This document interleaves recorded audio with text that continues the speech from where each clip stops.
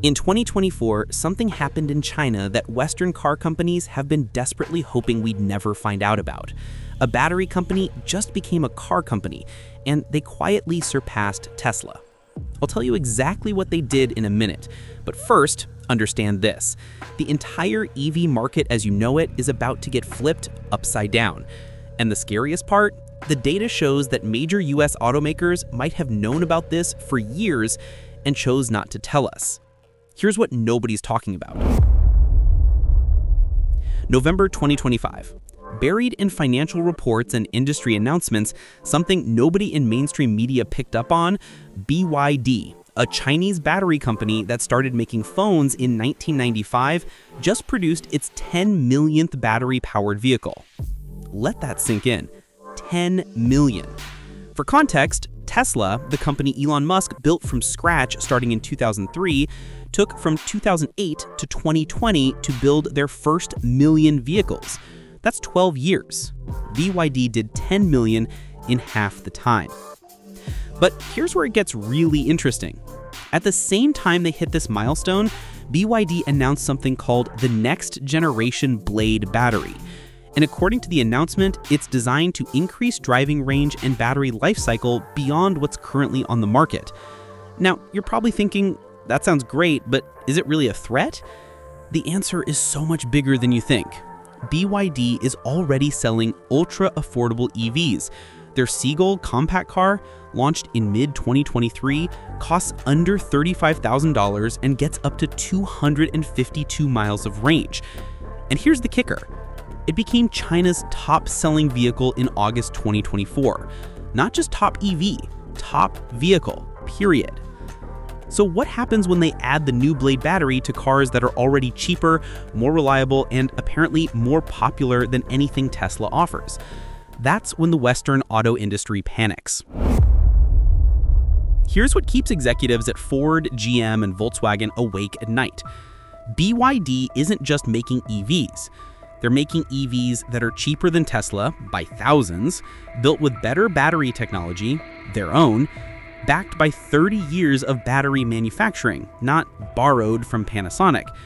And unlike every other EV maker, BYD owns the entire supply chain. That's not an advantage, that's a monopoly. Tesla buys batteries from other companies. Ford buys batteries from other companies. BMW buys batteries from other companies. BYD makes their own and has done it since they were a phone battery supplier. The industry data shows that battery costs are 30 to 50% of an EV's total price. That means BYD has a structural cost advantage that competitors cannot overcome without completely restructuring their entire business model and now they're about to get even more efficient.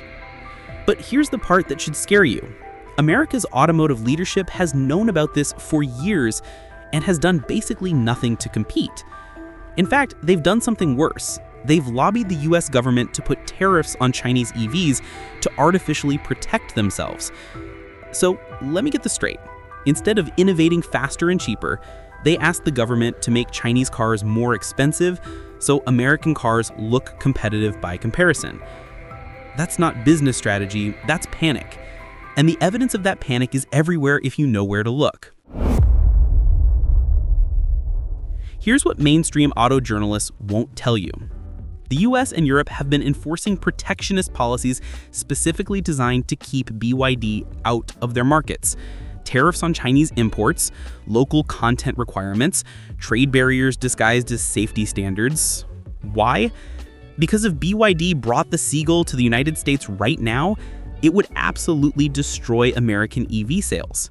A $25,000 EV with 250 plus miles of range? That's not a competitor. That's a market reset. And analysts already know this. One top industry analyst, Ed Kim from Auto Pacific, basically said it's inevitable. It's only a matter of time before BYD is selling retail passenger vehicles in the US market. American consumers want them and awareness of them is strong. Notice something? They're not saying maybe someday, they're saying it's only a matter of time. The data backs this up too. Gen Z and millennial consumers, the future of car buying, are already following BYD on social media. Awareness is spreading through grassroots channels that traditional automakers can't control. So the tariffs aren't protecting American workers. They're protecting American profit margins. They're protecting Ford's $40,000 Mustang Mach-E when BYD could offer the same range for $15,000. They're protecting General Motors' market dominance in a way that innovation won't.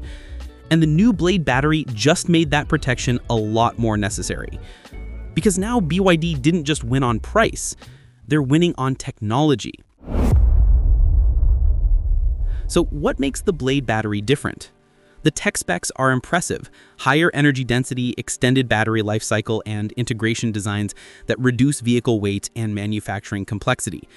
But the real advantage is something you don't see in tech specs. BYD has been perfecting battery manufacturing since before Tesla existed. They've made billions of batteries for phones, for tools, for storage systems. They didn't just jump into cars and hire Panasonic like everyone else. They brought 30 years of battery expertise into automotive, and that shows. The vehicles they've already sold are proving it. BYD is not just making EVs that work, they're making EVs that are more reliable and cheaper to maintain than Western competition. And that's before the new Blade battery. What happens when it rolls out? The range increases, the reliability increases, the cost, well, stays basically the same. Because BYD has supply chain advantages that Tesla, Ford, and GM simply cannot match without completely restructuring their entire business model, which they won't do because restructuring is expensive. So instead, well, they'll keep asking the government for tariffs, keep lobbying against Chinese imports, keep telling American consumers that BYD cars are unsafe, despite zero evidence. And meanwhile, 20 million Americans are going to search for BYD on YouTube next year because they heard from a friend that the Seagull is incredible. Here's the scenario analysts are quietly discussing in closed door meetings. 2026. BYD announces they're entering the US market. The government tries to block them. Congress holds hearings about national security.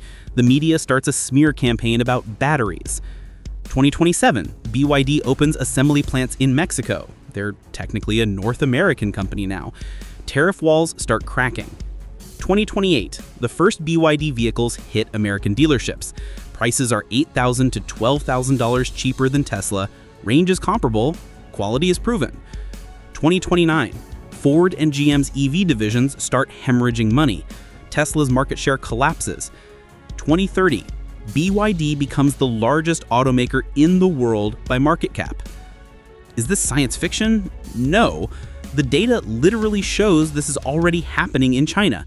BYD's dominance there is undisputed, and every analyst predicts the same trajectory globally. The only variable is how long can trade barriers delay it? Because they can't stop it, they can only delay it. And every quarter that passes, BYD gets stronger, more efficient, and more ambitious. The new Blade battery? That's them accelerating the timeline. So here's what you need to know. American automakers have known for years that BYD is better, cheaper, more reliable, more ambitious. And instead of competing, they've lobbied the government to keep them out. Instead of innovating faster, they've asked for protection. Instead of telling you the truth, they've stayed quiet. And now, with the new Blade battery technology, BYD just raised the bar so high that Western EVs are going to look expensive and outdated by comparison. The only question is, how long until American consumers figure it out? Because when they do, everything changes. The EV revolution wasn't won by Tesla's innovation or Elon Musk's vision. It's going to be won by a Chinese battery company that nobody in America has ever heard of. And the people who could have warned you, they chose tariffs instead. What do you think happens next? Let me know in the comments.